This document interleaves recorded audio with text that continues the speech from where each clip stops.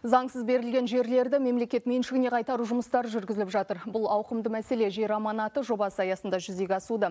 Мәжіліс төрағасы Ерлан Қошанов мемлекет басшысына төменгі палатының атқарып жатқан жұмыс туралы есеп берді. Қазіргі таңда мәжілісмендер халықпен кездесулер өткізіп, жергілікті жерлердегі ахуалмен танысу үшін өңірлерге аттанған. Содан кейін үкіметпен бірлесіп бұл мәселелерді шешетін болады. Сонымен қатар мәжіліс төрағасы парламенттің төменгі палатасы жұмысының жаңа форматы, соның ішінде қоғамдық палата құру жөнінде айтты.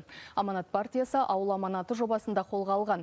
Бағдарлама тұрғындардың тұрмыстық табысын арттыруды көздейді. Ол бойынша 2400 ауылдық округті қамту жоспарланып отыр.